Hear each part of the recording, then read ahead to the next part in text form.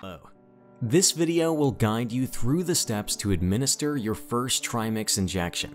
You should also review the videos for mixing and storing your medication, as well as for priapism. Preparation for your injection. Gather the materials you will need.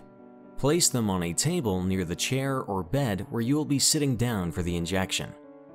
Wash your hands with soap and water and make sure they are thoroughly dry.